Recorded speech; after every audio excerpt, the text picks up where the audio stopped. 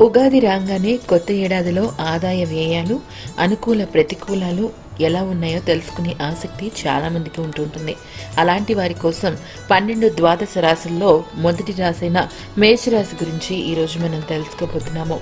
అయితే మేషరాశి వారికి ధనం కుటుంబ కారకుడైన గురుడు పన్నెండవ ఇంట రాజ్యాధిపతి అయిన శని దశమంలోను రాహుకేతువులు జన్మలోను సప్తమంలోనూ ఉన్నందున ఈ ఏడాదంతా కూడా మిశ్రమ ఫలితాలు ఉంటాయి. అర్థమయ్యేలాగా చెప్పాలి అంటే మంచి ఎంత ఉంటుందో చెడు అంత ఉంటుంది.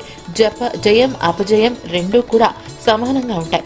కానీ ఇక్కడ మీరు గ్రహించాల్సింది ఏంటి అంటే వారం చివరిలో కానీ లేదా నెల చివరిలో కానీ ఈ సంవత్సరం చివరిలో కానీ మేషరాశి వారికి ఆశించినంత ఫలితమైతే అంటే మీరు సంవత్సరం మొదట్లో ఏదైతే ఆశిస్తారో అది సంతృప్తికరంగా పూర్తి చేస్తారనేది మీరు గుర్తుపెట్టుకోవాల్సిన విషయం. అంటే మేషరాశి వారికి ఖచ్చితంగా ఈ సంవత్సరం లాభం అనేది ఎక్కువగా ఉంటుందని తెలుస్తుంది. ఇక ఒక్కొక్క విషయం గురించి మనం ఇప్పుడు చర్చించుకుందాం. ఆదాయ వ్యయాలు సంతృప్తికరంగా ఉంటాయి. వచ్చిందంతా ఖర్చు అయిపోతుంది అన్న భావన ఉన్నప్పటికీ మీరు ప్రతి ఒక్క ఖర్చు కూడా శుభానికి సంబంధించిన ఖర్చు పెడతారు. ఉదాహరణకి మీ పిల్లలు చదువు పూర్తి చేసుకుంటే వాళ్ళ విదేశీ చదువులకు అలాగే మీ మీ మీరు గనక ఇల్లు కొనుక్కోవాలనుకుంటే ఇంటికి సంబంధించిన ఖర్చులు వీటిలో భాగమవుతాయే కానీ ఆసుపత్రికి ఖర్చులు అవ్వటము లేకపోతే వేరే అశుభ కార్యానికి ఖర్చులు అవ్వటం లాంటివి ఏమీ జరగవు. విలాసవంతమైన వస్తువులు కొనుగోలు చేస్తారు. ఆలోచనలు కార్యరూపం దాలుస్తాయి. ఎప్పటి నుంచో వెంటాడుతున్న సమస్యలకు పరిష్కారం ఏర్పడుతుంది. నూతన పెట్టుబడులు పెట్టినప్పుడు మాత్రం ఒకసారి ఆలోచించి మేషరాశి వారు స్థిర చర ఆస్తులను ఆచితూచి అడుగు వేయండి. బంధుమిత్రులతో సత్సంబంధాలు నెలకొంటాయి. పదవులు సభ్యత్వాల కోసం మీరు చాలా అంటే చాలా ప్రయత్నాలు acostumbrar. కానీ మీ ప్రత్యర్థులతో మీరు జాగ్రత్తగా ఉండాలని మాత్రం మీరు గుర్తు పెట్టుకోవాల్సిన విషయం. ఇక వివాహ ప్రయత్నాలు కలిసి వస్తాయి అయితే జాతకాలు సరిగ్గా చూసుకోవడం మాత్రం మరవద్దు. ఉద్యోగస్తులకు ఈ ఏడాది చాలా కలిసి వస్తుంది మేషరాశి వారికి.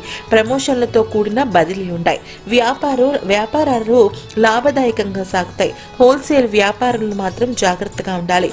వైద్య రంగంలో ఉండేవారికి ఆదాయ అభివృద్ధి ఏర్పడుతుంది. విద్యార్థులు అనవసరప వ్యాపకాలు తగ్గించుకుంటే కానీ లక్ష్యాన్ని చేరుకోలేరు. అసాంఘిక కార్యకలాపాలకు దూరంగా ఉండాలి. దైవ చింతనను మీరు పెంచుకోవాలి. దైవ సంబంధిత కార్యాలపై దృష్టి సారిస్తారు. తరచూ ప్రయాణాలు చేయాల్సి ఉంటుంది. జాగ్రత్తగా ఉండవలసిన అవసరం ఎంతైనా ఉంది. కోర్టు సంబంధిత వ్యవహారాల్లో చిక్కుకున్న వారు పరిష్కారం దిశగా అడుగులు వేస్తారు. అయితే మీకు జాప్యం జరిగినప్పటికీ ఆ కోర్టు వ్యవహారాల్లో మీరు ఎంతో కొంత పురోగతి అయితే సాధిస్తారు. ఇక స్టాక్ మార్కెట్లో పెట్టుబడి పెట్టేవారు ఒకటికి రెండు సార్లు ఆలోచించి మనకు నష్టం ఎక్కువగా రాకుండా చూసుకునే ప్రయత్నం చేయాలి. ఇంకా బంధువర్గంతో కొన్ని విభేదాలు ఉంటాయి అకారణంగా మాటలు పడుతూ ఉంటారు. ఎందుకనంటే మీకు ఆదాయం ఎంతుందో అలాగే వ్యయం ఎంతుంది అవమానం ఎంతుందో రాజ్యపూజ్యం కూడా అంతే ఉంది.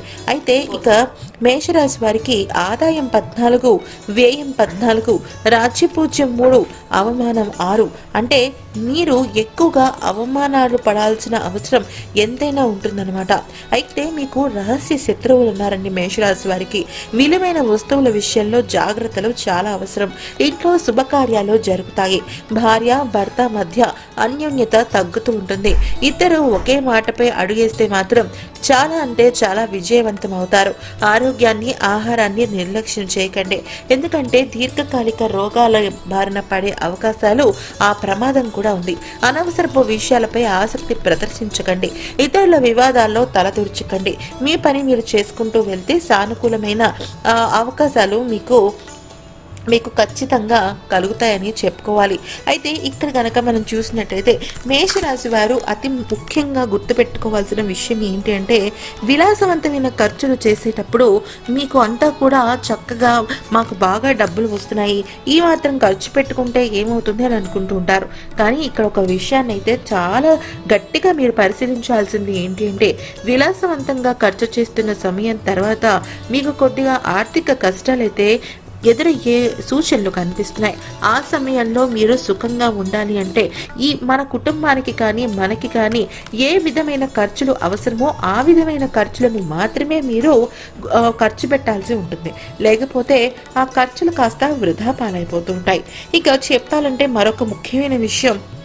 మేషరాశి వారికి ఈ వా- ఈ సంవత్సరం అంతా కూడా ఎక్కువగా ఫ్లక్చుయేషన్స్ అనేవి వస్తూ ఉంటాయండి. అంటే తారా స్థాయికి వెళ్తూ ఉండరా ఉంటారు. అలాగే కొంచెం కింద పడే అవకాశాలు కూడా ఉంటూ ఉంటాయి. ఉదాహరణకి మీరు వ్యాపారస్తులు అనుకోండి. ఒక నెల మీకు పది లక్షలు కూడా రావచ్చు. కానీ ఇంకొక నెల పదివేలు కూడా వచ్చే అవకాశాలు లేవు. అందుకనే మీరు జాగ్రత్తగా ఆచి తూచి బ్యాలెన్స్డ్గా ఉండడానికి ప్రయత్నించాలి. అయితే మేషరాశి వారు ఈ సంవత్సరం అంతా కూడా మీ ఇష్ట దైవంతో పాటుగా వెంకటేశ్వర స్వామిని కనుక దర్శించినట్టయితే మంచి శుభమూలక ఫలితాలు అనేవి మీకు దక్కుతాయి. ఈ వీడియో కనుక నచ్చితే లైక్ చేసి సబ్స్క్రైబ్ చేసుకోండి.